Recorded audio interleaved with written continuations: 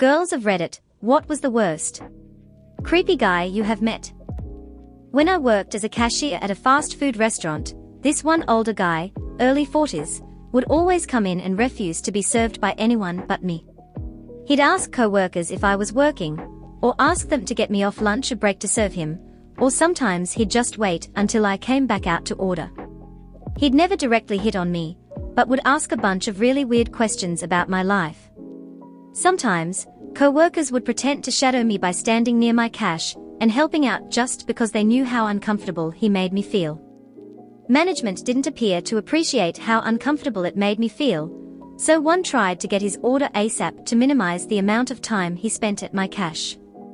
One day, while I'm punching in his order, he asks if he could take me to prom it was his dream to accompany me or something equally creepy.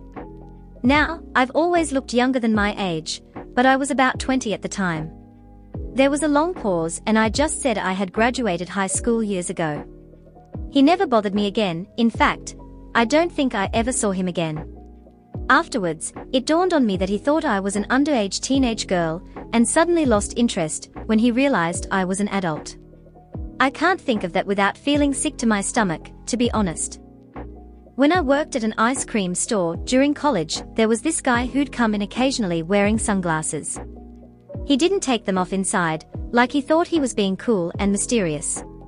If there were girls working behind the counter he would walk up and say sup, females.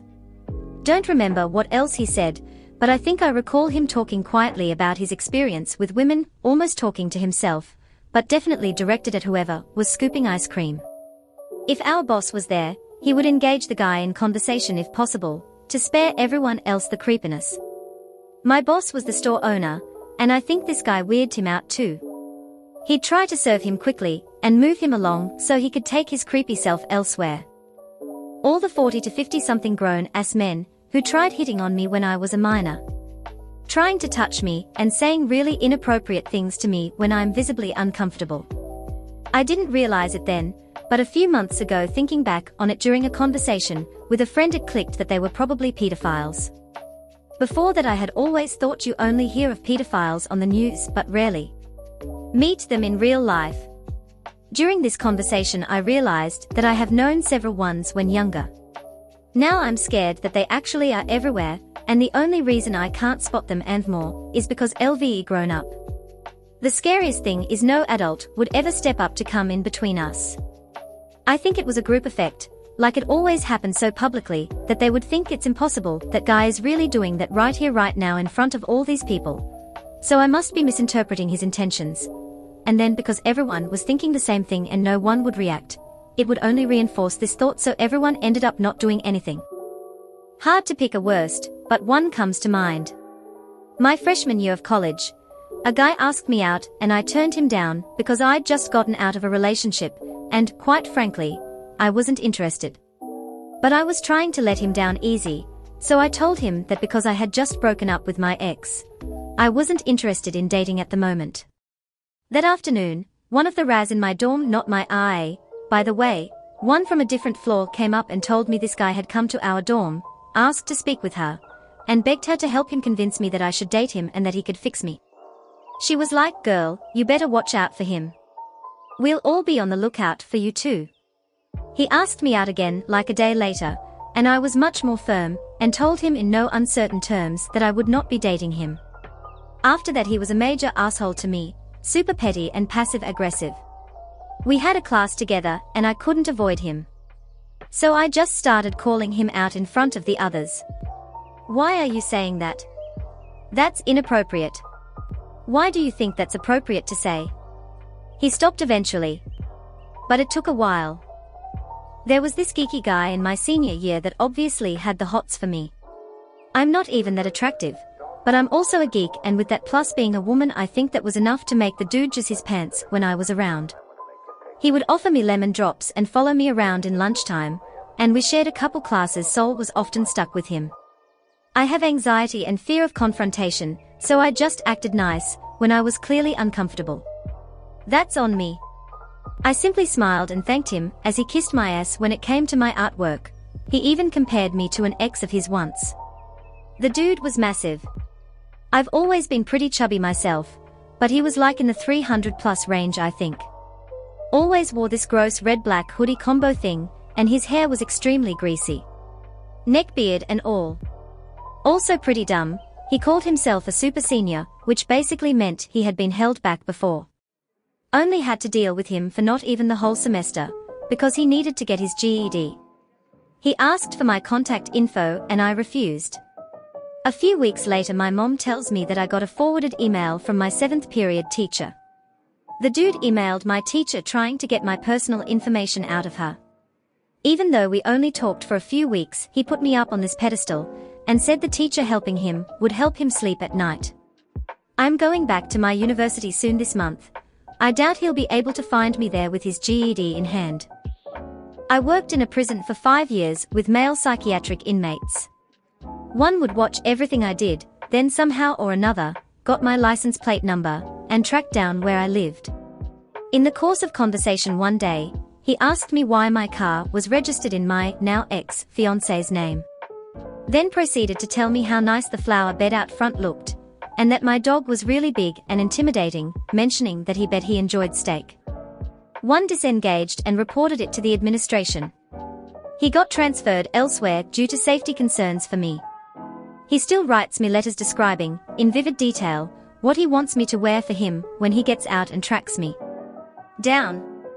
I haven't worked there in six years, old friends keep me posted about his whereabouts, upcoming parole hearings, and when they get a new letter for me. I was going home, after having been out some night, and a guy came up to me starting to talk to me, and I just kept walking and so did he. I told him I have a boyfriend etc., but he didn't seem to care. Eventually, we got to the door to my building and I told him he can't come in here. And he just kept repeating the same things he did before about, no please LVE never met anyone like you, as if I would somehow change my mind. I didn't want to just stay there so I went inside and he followed. Not like I could really prevent him from doing so either. I got into the elevator, doing my best to ignore him and he followed me. Then when inside he wouldn't let me out from it. After several minutes of telling him I had to go home, trying to physically move him. I was able to squeeze past him, and then I kept walking. I got to my door, but I'm not risking having him come inside. I called my boyfriend and had him yell at him to leave me alone, which he didn't seem to really care about as he kept whispering over it to me. I unlocked the door, while he was a bit distracted by the phone and basically just jumped inside and locked the door immediately. This guy however kept ringing the bell and trying to open the door for a few minutes. I was about to call the police, but then it stopped. Still has me a bit anxious tbh. A few months back this guy added me on Facebook through mutual friends, and we started talking. He seemed pretty cool and normal at first honestly, and he gave me a ride him from work one single day. After a while, he started to say weird stuff, like how he really hates the servers at his job, Hooters, and would say sometimes he feels like doing bad things to them. He even sent me a picture of him holding a kitchen knife and captioning it about how he'd love to use it on the servers. I started to just ghost him after that. My absolute final straw was when he found out I was sick, remembered exactly where I lived in this massive apartment complex, and showed up completely out of the blue to take care of me and to give me a get well soon card and some crackers. Would have been a sweet gesture if he wasn't a total psycho. Pretty much every guy I've met, with the exception of my boyfriend, have been creepy or just weird towards me. The worst creepy guy though was one of my old friends, who we'll call L. L was pretty chill, and I liked him at first. We were okay friends. Then he said he had a thing for me. I just kinda said okay and moved on. But he got bad fast. He wanted to do a 20 questions type game. I thought it'd be innocent icebreaker questions, but no. It slowly turned creepy and sexual. I don't wanna get into details, because even thinking about the shit he said makes me uncomfy. We were ding so it wasn't the worst possible thing, but it still made me uncomfortable to no end. Another less creepy, but still kinda a guy is someone who used to constantly poke and prod me and grab me and just wouldn't stop no matter what. My creepy PE teacher, who constantly looked at my cleavage and straight up used the Spider-Man. Hey on me.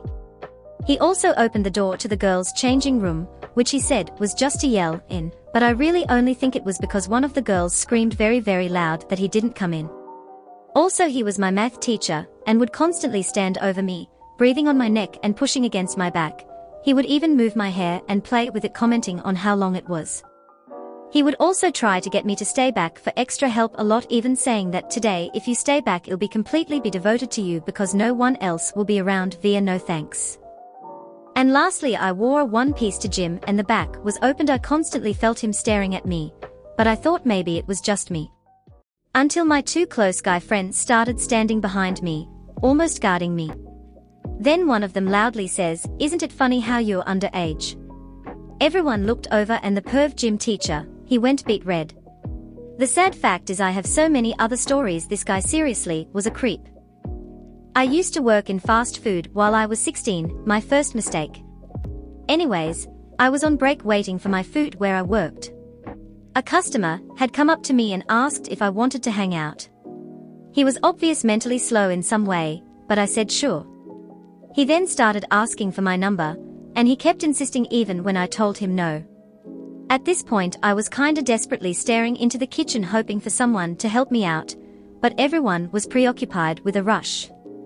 I was starting to panic and then he grabbed me by the hand. Mumbled that I had to go and I ran in the back room to eat. Didn't actually eat much because I felt so sick. I didn't tell anyone until the end of my shift.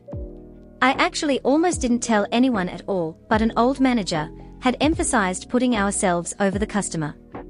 Told my manager, and she immediately felt guilty as to why I waited three hours when she knew I never spend my break in the back. One had put in my two week notice the day beforehand. The next shift I worked, the store manager said how she would have been there to stand up for me and how I shouldn't quit because she would do that for me. I never even told my family this and she was using it as emotional manipulation. Thank fuck I left that place. Had a guy in one of my college classes who was older enough to be my father ask me out. He was married with a daughter, his daughter was five years younger than me. He then would try to convince me to smoke pot, illegal in my state, and tried to convince me to become his sister wife and move in with them. He was very manipulative and controlling. I don't talk to them anymore, obviously. And the whole situation was so fucked up. Anyways, that's the craziest thing that's ever happened to me. He's actually an ex, but we didn't date too long, so that counts, right? When we first started dating I found out he lived in his car, no judgment though, but this is relevant. What made it creepy was that he told me about two weeks into said relationship that he parked in visitors parking of my condo complex to keep an eye on me and protect me from the creeps. Another thing he did which, in hindsight, I thought was sweet two months in was getting me a promise ring and wanting to go get it fitted and such. Up till I find out it was going to be fitted as an engagement ring instead so when I was given the whole engagement speech he said, I knew I loved you, and we were meant to be the moment we matched on Tinder. Now I can show everyone. OWNU. That's when I knew it was over. I ended it a day later, but that certainly didn't stop him. He still stayed in the visitor's spot, still thought we were in a relationship, or just on a break cause, he'd still keep trying to get into my condo to wake me up for work. Even tried knocking on my window. At some point he got angry, especially when I called the police. Finally got a restraining order and changed my number. It's been about two years now and I've moved since then, but he really did scare me at some point. Met this boy on holiday, who just so happens was in a year below me from school. According to this kid this meant we was dating, I'm a lesbian, he would send me sexual messages over social media, kept on blocking him, but made more accounts. I told him I wasn't interested and that was that for that day. The next day me and my friends were eating in the canteen, when I look out the window, and there that boy staring at me through the window. When he saw me looking I left. Later we had a afternoon assembly my friend noticed he was looking at me and I felt awkward, next day I sit somewhere else in the canteen look out the window, and this kid is looking at me again. I ran to the toilet and shortly afterwards went to my lesson. This kid was there outside the door.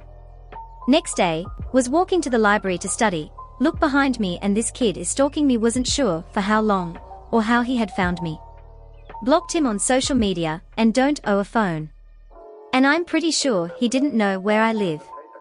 Anyway, this kid was following me to the library, where I was meeting a friend. We ended up spending the day at hers to avoid this kid. Thank you so much for watching all the way to the end. Please like and subscribe for more videos like this one.